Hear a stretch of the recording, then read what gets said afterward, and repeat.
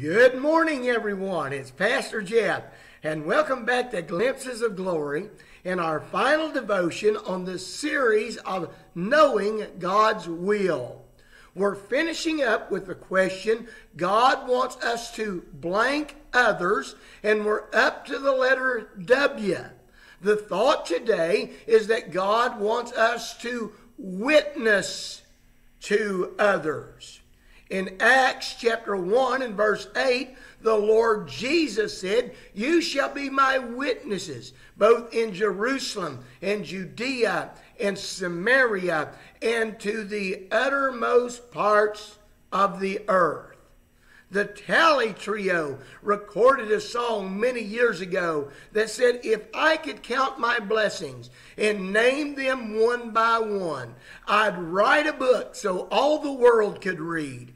I'd start each line with glory and end with praise the Lord. I'd tell the world what Jesus did for me. I want you to go back in your mind this morning very briefly to the evening or, or the morning or whenever it was that you gave your life to Christ. I want you to recall the grace. I want you to recall the goodness. I want you to recall the forgiveness. I want you to recall the mercy. I want you to recall how it seemed like God reached down and, and picked the world up off of your shoulders. And then I want you to go and tell somebody about it.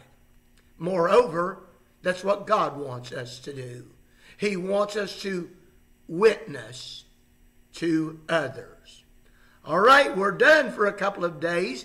My wife and I are traveling to Washington, D.C. to participate in the Franklin Graham Prayer March. You pray for us while we're away, and we'll see you next Tuesday morning on Glimpses of Glory.